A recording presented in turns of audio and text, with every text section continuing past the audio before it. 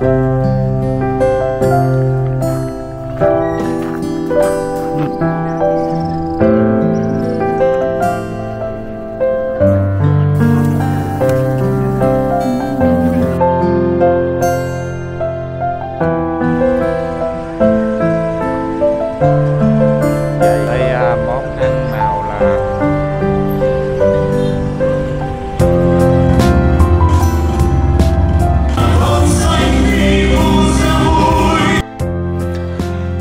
Chào mừng quý vị cô chú anh chị các bạn đã quay trở lại kênh Đà Lạt Street của Như La Cà.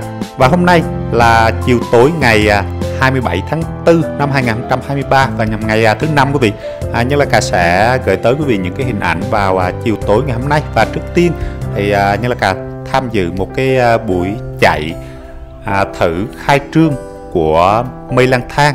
Ở đây là một cái địa điểm khai trương à, Mây Lang Thang Food and Music ở đây thì à, chúng ta tới đây để mà ăn uống cũng như là xem những cái à, buổi biểu diễn nhạc acoustic vào à, mỗi tối.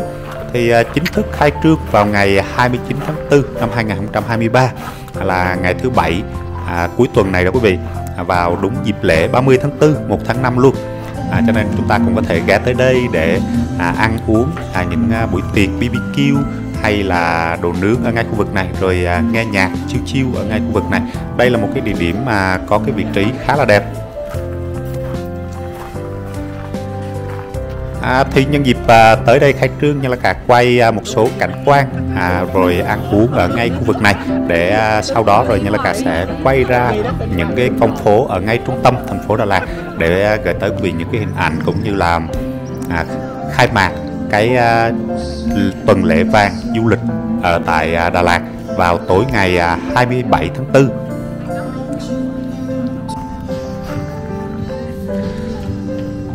Ở đây thì chương trình đang chạy thử cho nên là sân khấu vẫn chưa có biểu diễn ca nhạc quý vị và tối ngày à, thứ bảy là 29 tháng 4 sẽ có những cái à, buổi biểu diễn ca nhạc kết hợp. Thì Mây Lang Thang thì chúng ta cũng đã biết rồi thì à, đây là một cái đơn vị mà đưa âm nhạc đưa những cái ca sĩ nổi tiếng đến với thành phố Đà Lạt với những cái buổi diễn à, ngoài trời đúng không vị à, kết hợp ăn uống này kia các kiểu. Nắp phèo nữa. Ừ.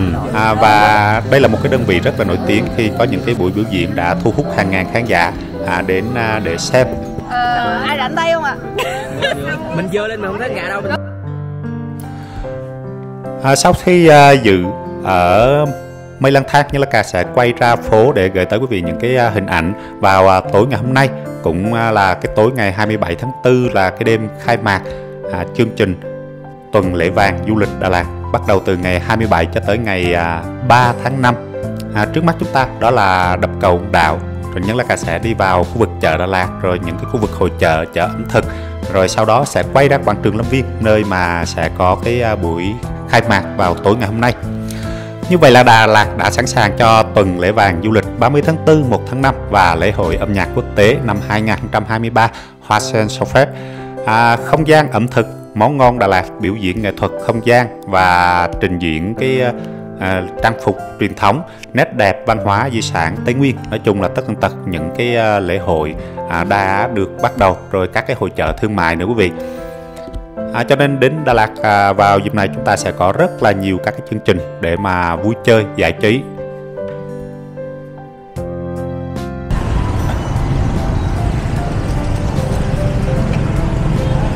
tối nay thì ờ, vẫn chưa đông lắm quý vị. Bây giờ như là cả sẽ dạo ờ, bên ờ, khu vực chợ một tí. Tối nay vì là tối thứ năm, tối mai thì bắt đầu mới đông quý vị. Và bắt đầu khách du lịch sẽ đổ lên. Còn tối nay thì chúng ta thấy là có một cái lượng khách vừa phải đi vào trong khu vực chợ Đà Lạt. Thì chợ là một nơi mà khá là quen thuộc rồi quý vị. Khi mà nó ban đêm á, ban đêm mà khi mà khách du lịch đi chơi về thì ban đêm là người ta đổ ra chợ Đà Lạt để à, vui chơi, rồi đi dạo, ăn uống các kiểu, vân vân.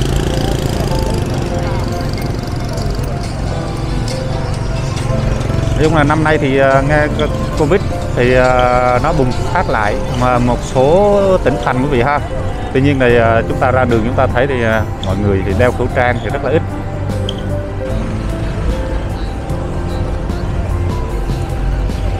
Hy vọng là tối mai và những cái tối tới thì nó đông thì chúng ta phải ý thức ờ, hơn, đeo khẩu trang hơn và đặc biệt là đi vào trong ờ, khu vực ờ, chợ Đà Lạt thì chúng ta cũng cảnh giác và bảo đảm cái tư trang của mình.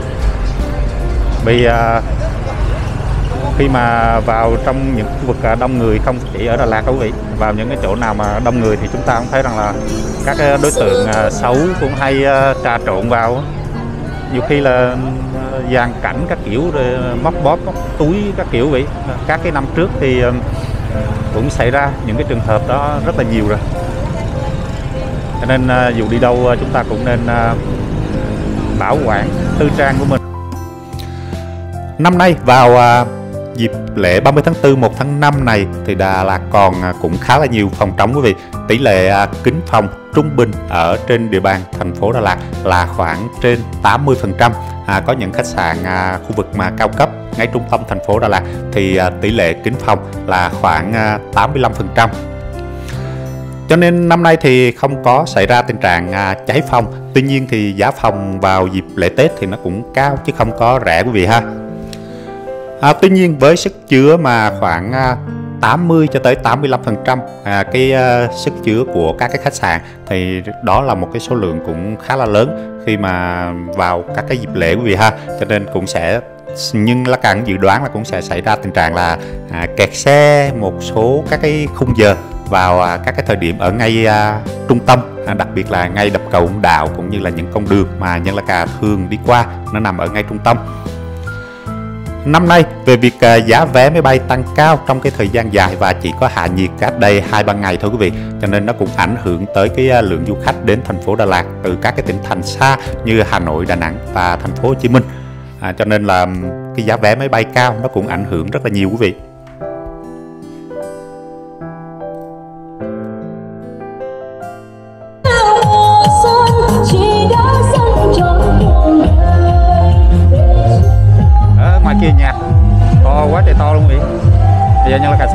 Bên à, trong khu vực này để à, quay cho quý vị. Bây giờ tối nay thì nó chưa khai mạc tối mai thì bắt đầu mới à, khai mạc cái hội chợ này quý vị. Cho nên là tối nay nó vẫn còn khá là vắng. À, mọi người đang tập trung ra ngoài phía quảng trường Lâm Viên là chính.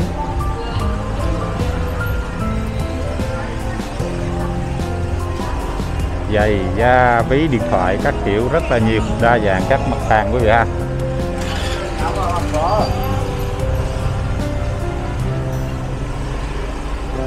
Có nhiều uh, quầy hàng thì người ta vẫn chưa có mở. Đây bây giờ những là cả quay sơ trước cái khu vực này để uh, à, mai mốt mà nếu quý vị lên à, đây du lịch thì cũng có thể ghé vào đây mua các cái loại đồ ăn thức uống nè quá trời trời nè. À, giày dép các kiểu gì ha. Quá trời quá đất luôn quá trời nhiều luôn.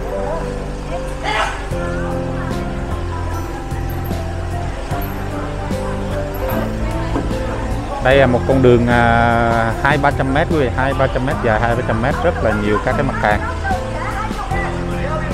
À, trong này thì đồng giá 20 ngàn quá trời trời quá đất luôn.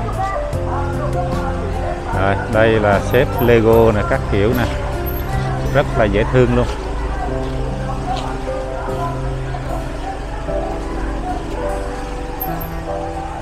Đây giống như một cái chợ luôn quý vị đầy đủ mặt hàng.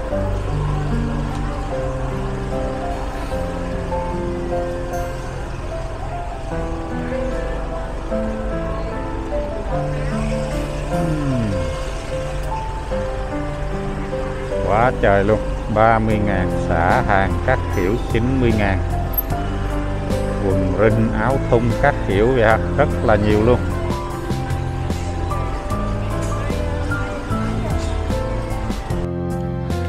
Ở trong đây các cái mặt hàng cũng rất là phong phú tuy nhiên là hôm nay chưa có khai mạc quý vị. À, tối ngày mai bắt đầu mới khai mạc và lượng du khách đến thành phố Đà Lạt lúc đó nó mới đông còn bây giờ thì đa số là chủ yếu những cái ngày à, giữa tuần thì chủ yếu là người địa phương thôi khách du lịch thì cũng lác đác thôi. À, bắt đầu tối mai là tối à, thứ sáu quý vị là bắt đầu du khách sẽ đổ lên khi mà có 5 ngày nghỉ. À, việc à, du khách đến thành phố Đà Lạt du lịch thì thường à, lưu trú ở Đà Lạt theo thống kê thì khoảng tầm 2 cho tới 3 ngày thôi trong một kỳ lễ mà dài à, à, 5 ngày quý vị. Vì à, hiện nay đi du lịch thì người ta đi bằng phương tiện cá nhân đặc biệt là xe máy và ô tô cá nhân á, thì người ta kết hợp đi du lịch à, biển và du lịch à, hoa luôn. À, Đà Lạt nằm ở một cái vị trí khá là tiện vì nằm trên cao nguyên Lâm Viên trên 1.500m so với mực nước biển thì có cái khí hậu khá là mát mẻ. À, kết hợp du lịch biển và hoa. À, biển là những cái thành phố rất là gần à, với thành phố Đà Lạt như là Nha Trang Phan Thiết rồi à, Phan Rang quý vị. Cho nên là người ta kết hợp đi du lịch biển và đến thành phố Đà Lạt hoặc là đến thành phố Đà Lạt sau đó sẽ đi biển cho cái hành trình mà dài 4 năm ngày của mình. À, đó là cũng là một cái sự kết hợp tuyệt vời quý vị. À, còn bây giờ thì Nhân cà sẽ hướng ra phía công viên Xuân Hương nơi mà có hội chợ ẩm thực món ngon rồi à, ra phía quảng trường Lâm Viên để gửi tới quý vị những cái hình ảnh vào tối hôm nay.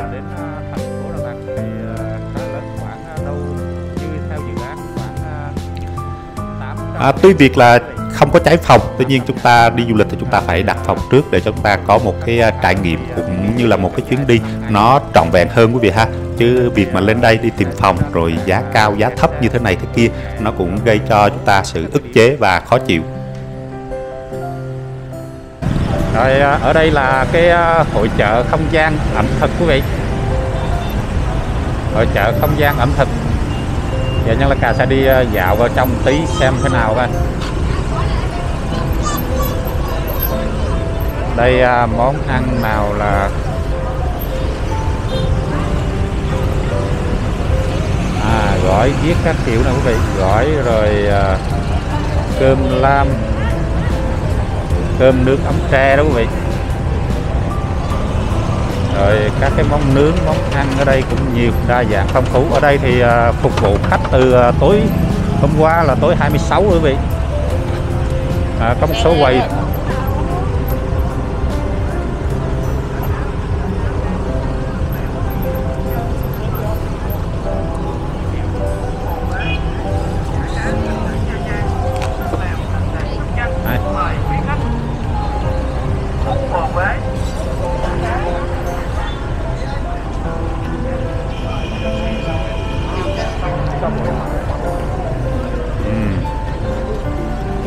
này cũng đông vui như này nói chung là có không gian ẩm thực là thấy à, đông vui quý vị. Tới đây ăn vặt, ăn đồ và nhìn ngắm hồ sông hương các kiểu này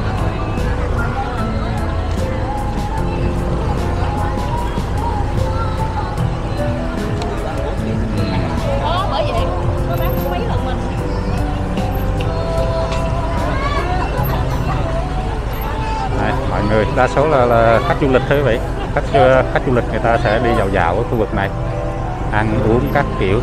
Nói chung ở đây các cái ờ, món ăn vặt xiên nướng đồ nướng nè. Ở Đà Lạt mà ăn mấy cái đồ nướng ờ, đây có bếp đồ nướng sẵn cho mình luôn. Ồ, quá trời mọi người đây ngồi ăn đây. À, vô order đồ ăn rồi đem ra bàn nướng luôn.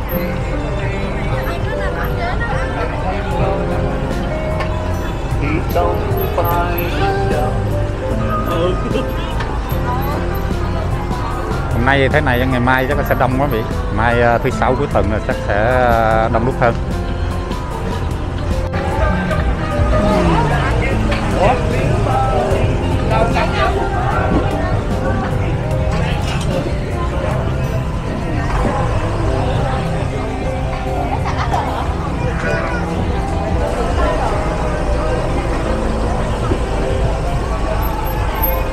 quá trời đồ ăn luôn ram nướng xiên nướng các kiểu chiên giòn nè.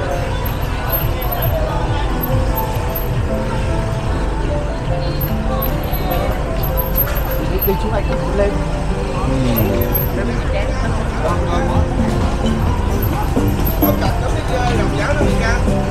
có ốp luôn rồi coi ừ, hải sản là quá trời luôn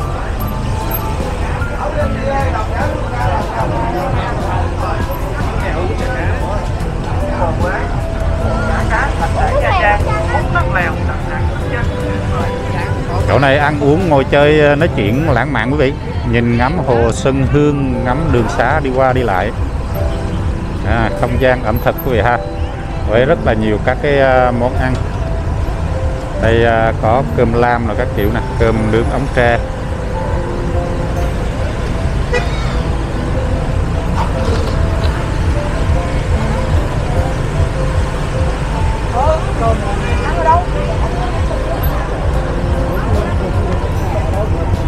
giờ mình không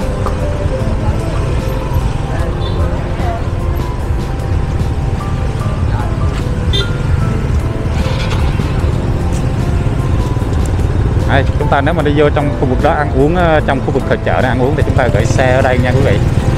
Rồi bây giờ nhân có cà sa đi ra hướng quảng trường Lâm Viên.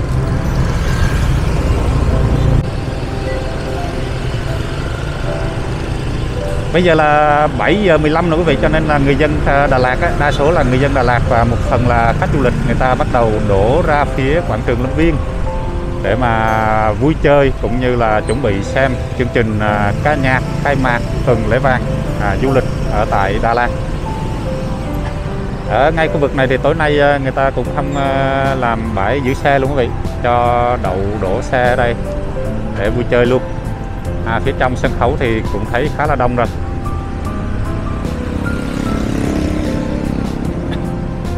giờ Nhân Laka sẽ đi à, dạo vòng vòng xung quanh đây rồi đi vào khu vực à, quảng trường Lâm Viên à, ngay à, sân khấu chính để quay cảnh quan cho quý vị xem nha.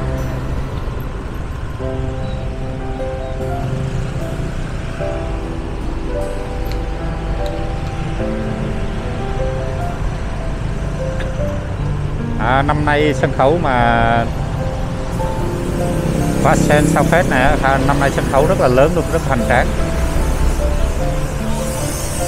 Ở hai bên quảng trường Lâm Viên à, hiện nay thì có hai cái màn hình LED rất là to rất là hoành tráng.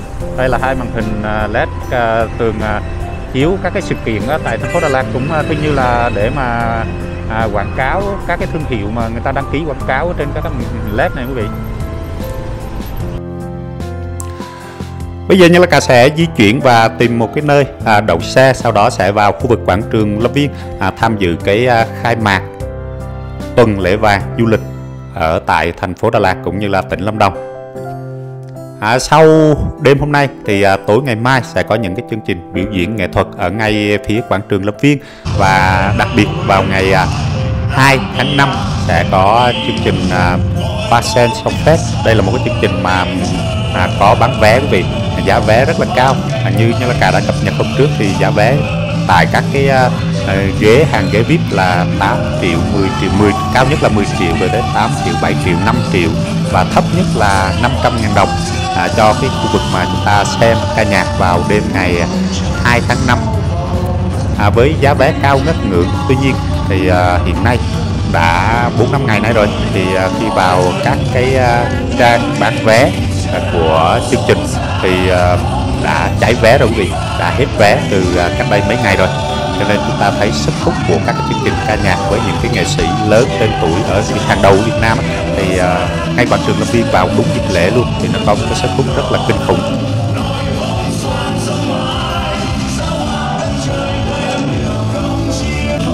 À, trước mắt chúng ta là khu vực quảng trường Lâm Viên với một cái sân khấu to lớn hiện đại với à, một cái đêm à, khai mạc tuần lễ vàng du lịch.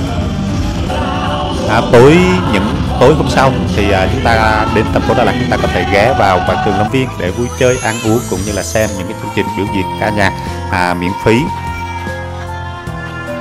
À, và như như là cập, cập nhật thì à, ngoài những cái khu vực mà hội chợ nè khu vực ăn uống rồi à, khu vực à, biểu diễn à, trưng bày những cái à, văn hóa Tây Nguyên thì chúng ta còn rất là nhiều các cái điểm để mà tham quan du lịch ở tại thành phố Đà Lạt.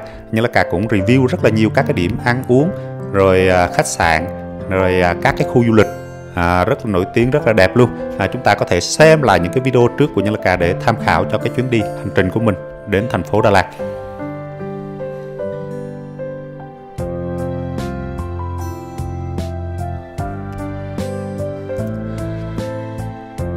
À, ngay khu vực quảng trường Lâm Viên thì ở trong siêu thị cũng có những cái nhà hàng rồi có những cái à, quán ăn ở trong siêu thị. Chúng ta cũng có thể vào trong đó để ăn uống.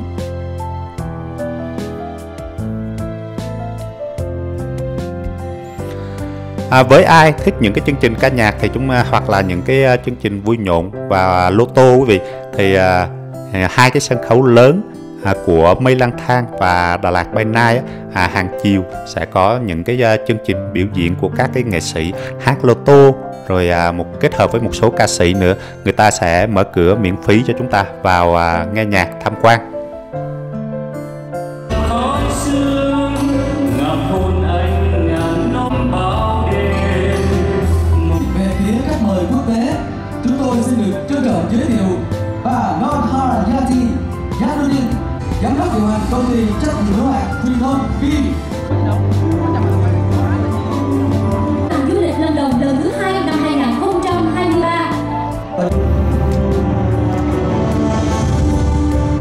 Thì ngay sân khấu này bắt đầu từ à, tối mai là tối ngày 28 đó quý vị. À, rồi 29 30 rồi mùng 1 mùng 2 mùng 3 sẽ có rất là nhiều các chương trình biểu diễn nghệ thuật. À, thứ nhất là Hoa Sen Southwest rồi à, Best Đăng Riu năm 2023 cũng sẽ diễn ra đây vào cái à, vòng chung kết. À, cho nên à, tới đây thì xem à, những chương trình ca nhạc biểu diễn nghệ thuật rất là đặc sắc luôn.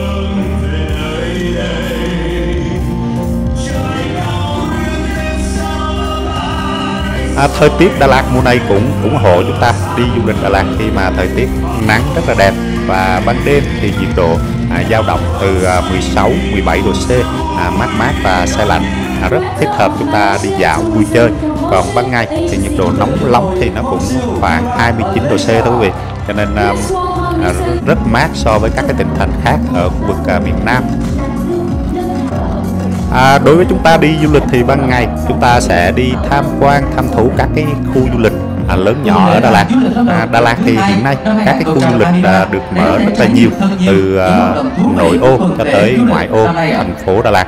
À, chúng ta đi hướng đèo Cà Nung có rất là nhiều các cái khu du lịch mà Nhân Cà cũng đã review trước đây. Nào là cao nguyên hoa Đà Lạt rồi à, Mongol Land à, khu du lịch chuồng chuồng hay là linh ẩm tự rồi à, đi ra khu vực Đại Mát cũng rất là nhiều các cái khu du lịch. Phó Bí thư Thường trực tỉnh ủy, trưởng đoàn đại biểu Quốc hội tỉnh Lâm Đồng. Và bây giờ như là cả mời quý vị xem những cái hình ảnh của đêm khai mạc tuần lễ vàng du lịch ở tại thành phố Đà Lạt. À, nhân là cả rất cảm ơn quý vị cô chú anh chị các bạn đã theo dõi video này. Nếu thấy video này hay có nhiều thông tin bổ ích quý vị hãy like đăng ký kênh để ủng hộ tinh thần nhân là cả nhé. Còn bây giờ nhân là cả xin chào và hẹn gặp lại quý vị trong một video tiếp theo về Đà Lạt. Đà Lạt, Lâm Đồng là một trong những điểm đến du lịch nổi tiếng của cả nước với nhiều phong cảnh đẹp, khí hậu mát mẻ, trong lành, văn hóa đặc sắc, con người hiền hòa, thanh lịch, mến khách. Từ lâu đã trở thành thương hiệu nổi tiếng, không chỉ trong nước, mà còn ở tầm quốc tế và khu vực.